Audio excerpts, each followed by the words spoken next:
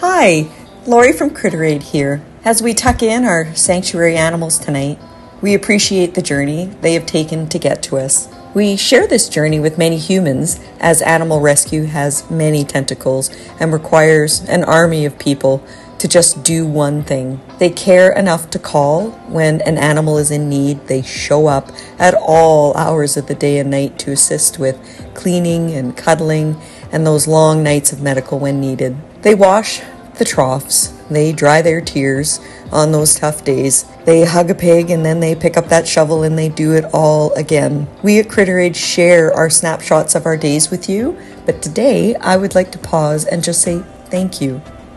Thank you to everyone that has helped, supported us, they fundraised for us, and they volunteer at and for our animals at the rescue.